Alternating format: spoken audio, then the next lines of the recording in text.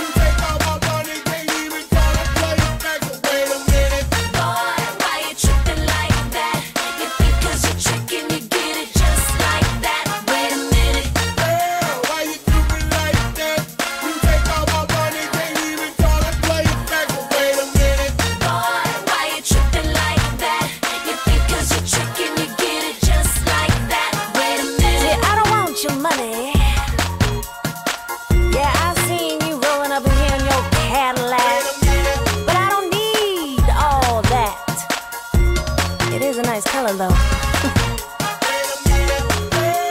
what do they call you, Mr. Tin Man or something?